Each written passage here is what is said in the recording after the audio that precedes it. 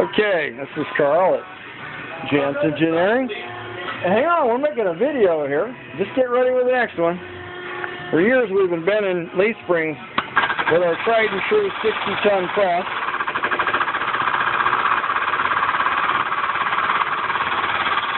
Let's stop right there. Does a marvelous job. Then we release, move to the next mark.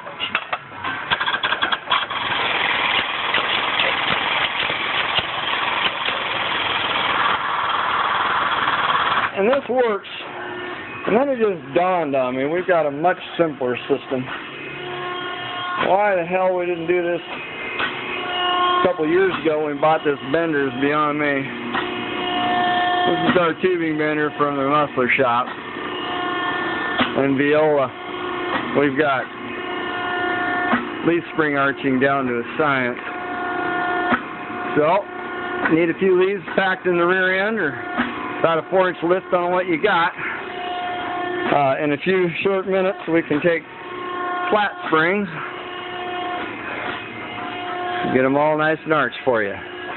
Come on down to Jantz Engineering.